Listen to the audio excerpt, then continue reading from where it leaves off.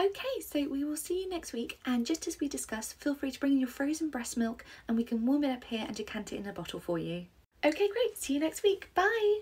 Bye. That's so gross. What's gross? Bring her breast milk in. And? You said we have to decant it. Does that mean we have to touch it? Well, you won't be touching the breast milk itself because we can't contaminate it. You keep it like, what if a little bit spills on me from the bottle? So what if it does? It's just milk. No, it's breast milk from a person. But you spilt a bit of the milk from the carton on yourself this morning. That didn't bother you. Because it's from a carton. But it came from an udder, just like the breast milk came from a breast. Udder?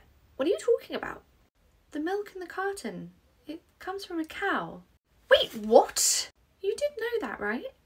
No, I thought the picture of the cow on the carton was to show it was made on a farm. I didn't realise it came from an actual cow. Ugh. And she can vote.